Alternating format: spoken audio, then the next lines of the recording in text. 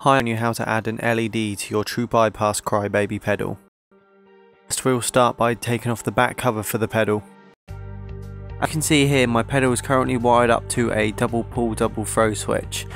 You've got two inputs on this, a clean input and a circuit input.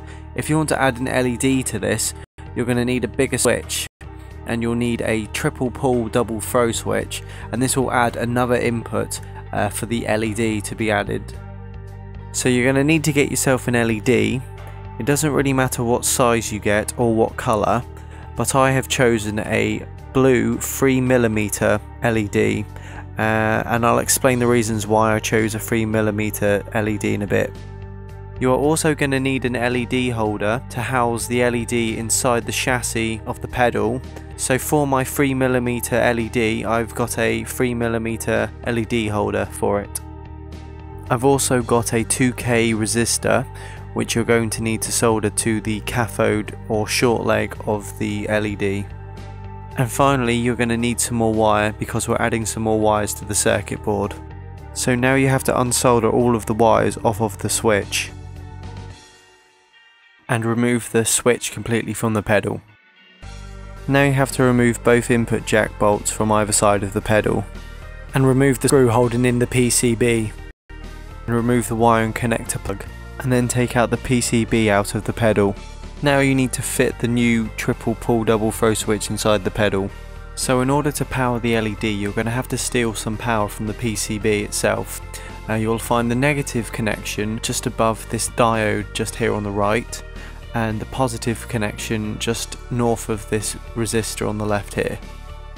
Any thumps or bumps that might occur audibly uh, when turning the LED will be taken out by the capacitor here which is part of the output buffer. Now you to cut yourself off two bits of wire. A long piece running from the positive connection on the PCB just north of the resistor running to the anode or long leg of the LED and then another piece of wire running from the negative point on the PCB just north of the diode running to the switch.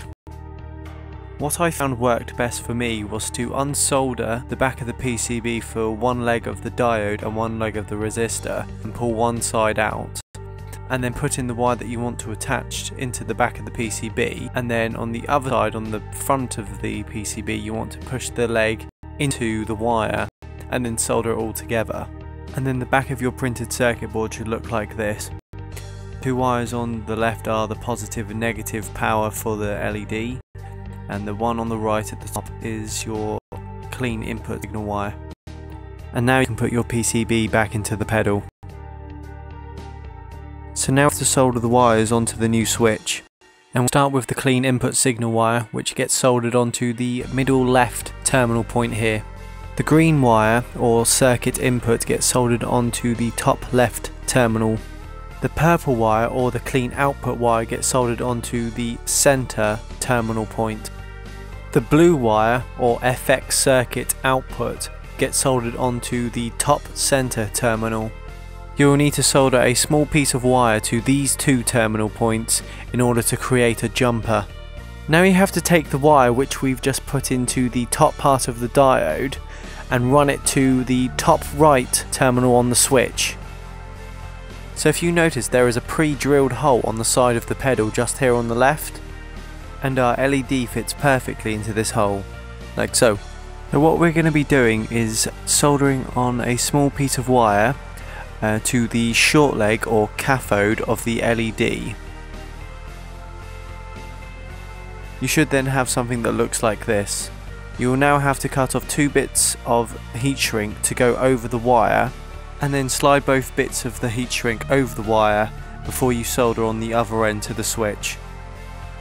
And then use a lighter to heat up the heat shrink around where the exposed metal is.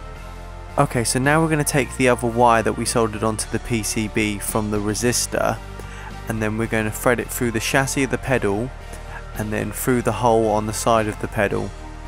Now you can snip any excess cable off.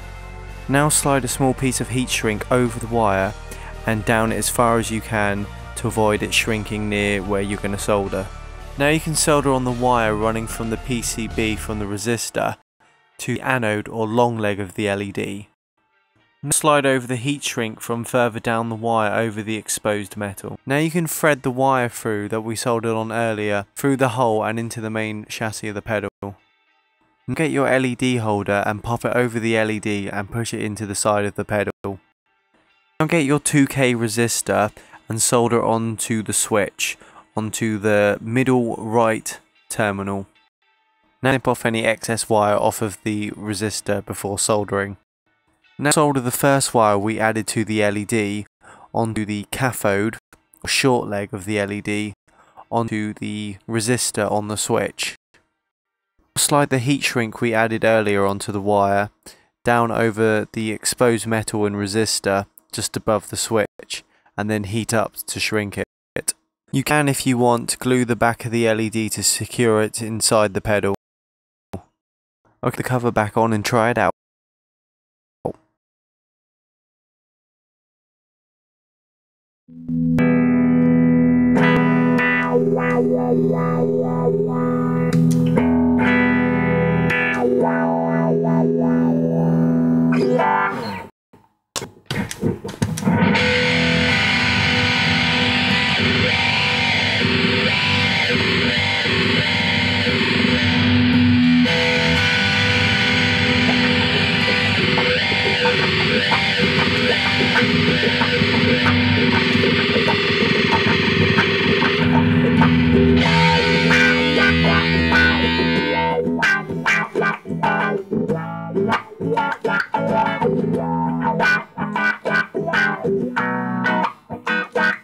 Yeah.